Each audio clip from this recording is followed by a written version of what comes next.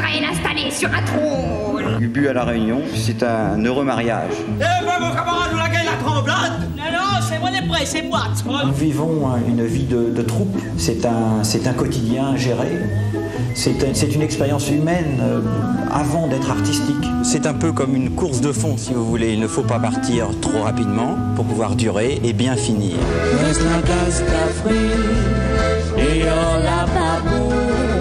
La vie au La vie c'est une chanson Merci Emmanuel Jeanbrun de nous accueillir euh, ici, chez toi. Quel plaisir de pouvoir évoquer euh, le théâtre Volard, plus de 40 ans d'histoire. Qu'est-ce que ça t'évoque quand on en parle? Bah, pour moi, ça a été toute ma vie, hein, puisque, puisque ma vie d'adulte a été, a été le théâtre. Sans que, sans que j'ai voulu, hein, puisque euh, au départ j'étais, psychologue, je suis resté psychologue quelques années, j'ai, été le dernier psychologue de l'APK, si ça dit des Ah, choses aux, gens. Et d'où est venue l'idée de te lancer de- dans la création de cette troupe?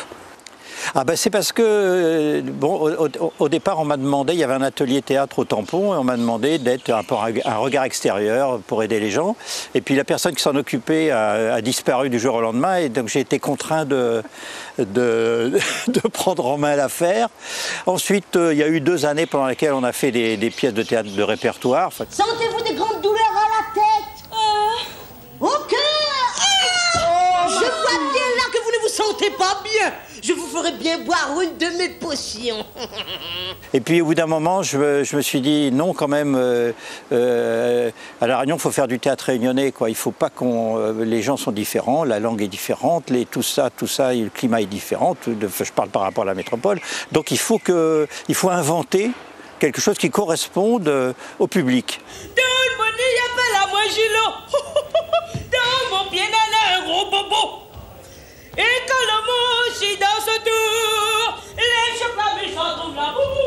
c'est pour ça que c'était important euh, de sortir ce livre aujourd'hui. Après tout ce temps, on regarde dans le rétroviseur, on se dit bon, euh, bon sang, euh, ça a servi à quoi tout ça? Est-ce qu'il n'y a pas une idée générale? Qu'est-ce qu'il n'y a pas un fil conducteur? On n'avait rien. On profitait des vacances pour jouer justement parce que le théâtre officiel partait en congé. Donc euh, nous, on avait le champ libre avec le public. Donc en fait, on, on travaillait tout le temps. Et puis, euh, et puis on aimait ça. Et comment s'est passé euh, le travail de collecte pour pouvoir mettre en forme ce livre? Bon, ça, on a fait ça avec euh, Emmanuel Cambou, donc, qui, est- qui a, qui a été longtemps dans, dans- dans la troupe. hein. Moi, je me suis tapé tous les textes, euh, les légendes, euh, et puis d'organiser un peu, j'allais dire, le récit volardien, quoi.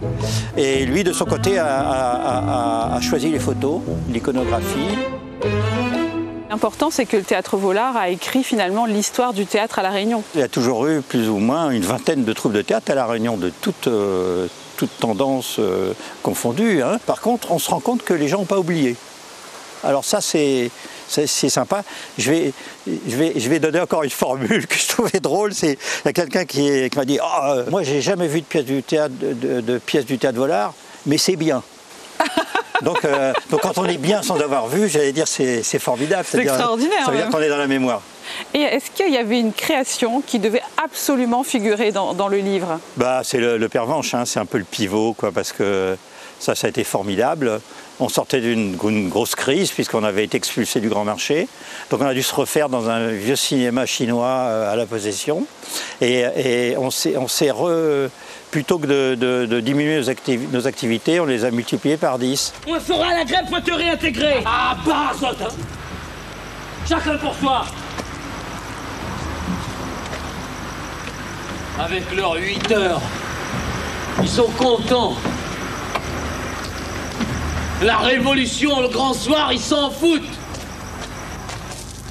Mi-mange, mi-coque, mi-dort. Carpin, pas de grossièreté. Et qu'est-ce que devient la- le théâtre Volard aujourd'hui? Il fallait qu'on se renouvelle, hein, puisque, euh, comment dire, il faut qu'on qu'on se renouvelle artistiquement, j'allais dire, de nous-mêmes. On a voulu évoluer, évoluer vers quelque chose qu'on ne connaissait pas ou qu'il fallait qu'on découvre et, qu'on retravaille. Ça a été, euh, euh, l'opéra, qui qui n'est jamais que du théâtre chanté. Mais c'est quand même très sophistiqué, c'est très compliqué. Mais dans notre métier, c'est le must.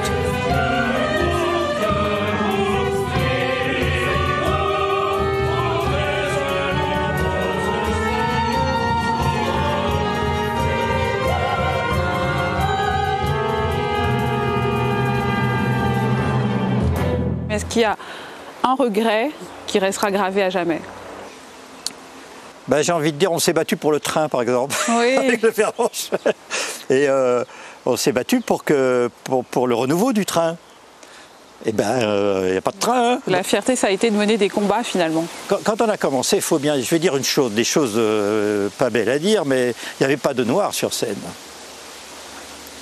Vous comprenez C'est et important donc, de le rappeler. euh, et donc, euh, donc des choses ont, ont évolué. Des fois, je me dis, c'est peut-être pour ça que Vollard a survécu, c'est parce que euh, il y avait des gens qui aimaient bien et qui voulaient soutenir ce qu'on était en train de dire, mais qui ne voulaient pas l'assumer.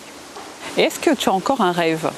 Là, je, je continue sur une carrière de, de romancier, donc, euh, donc qui, qui est, qui est- qui est très belle, très intéressante. Donc ça me laisse euh, la possibilité de, de faire des choses nouvelles. J'ai rien d'autre à demander au bon Dieu. Merci beaucoup Emmanuel Jean.